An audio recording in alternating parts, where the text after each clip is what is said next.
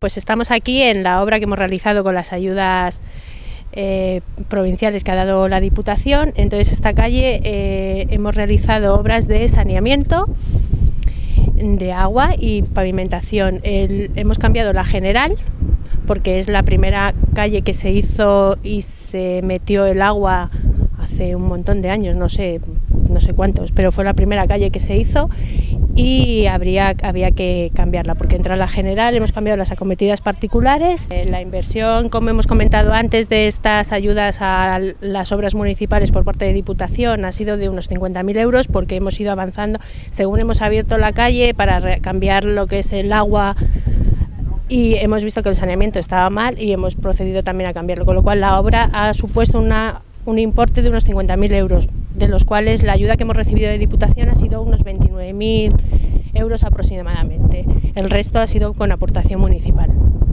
También hemos realizado el arreglo de un camino que iba paralelo a la ermita, a la carretera general, que va de la ermita de, San Roque al, al río y otras actuaciones que también hemos hecho importantes para este municipio ha sido hacer una cuarta fase del centro cultural. Otra obra que también hemos iniciado en esta legislatura, también con ayudas de Diputación, ha sido la impermeabilización del depósito y diversas obras como el cambio de cuadro de luz, la intubación y la bomba, y esto ha sido con obras urgentes. El importe de, de las dos actuaciones ha sido unos 40.000 euros y la Diputación con dos obras urgentes nos ha dado pues como el 50%, unos 24.000 euros otro de los proyectos que se ha llevado a cabo durante la sexta legislatura por esta corporación. Estamos en la calle Segovia, en el Centro Cultural. Es un centro cultural que irá destinado todos los locales que hay dentro a las distintas asociaciones y colectivos del municipio.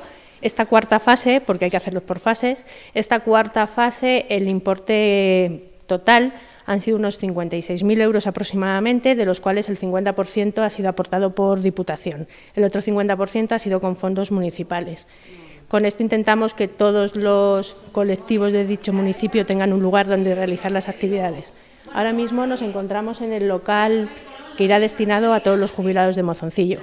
Esta es otra de las actuaciones que hemos hecho con las ayudas de Diputación, que es pintar la fachada del colegio y hemos pintado también el interior con otra ayuda de Diputación. Podemos ver el pabellón, que es donde se hacen las diversas actividades eh, mm, de deportes, deportivas y culturales que también vienen por parte de Diputación. Culturales tenemos varios cursos entre manualidades, eh, cursos de memoria que se llamaban anteriormente y tenemos de deporte social, tenemos tres módulos de deporte social y escuelas deportivas tenemos dos.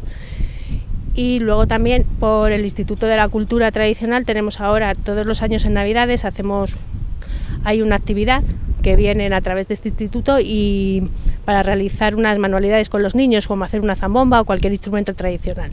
Bueno, pues eh, nos encontramos en, el parque que, donde instalamos los biosaludables que fueron dados en propiedad por parte de los servicios sociales de Diputación en el año 2012. Los pusimos aquí porque eh, anteriormente existían otro tipo de biosaludables, se cambiaron y este es el paseo que hacen normalmente todas las personas mayores y, todo el mundo.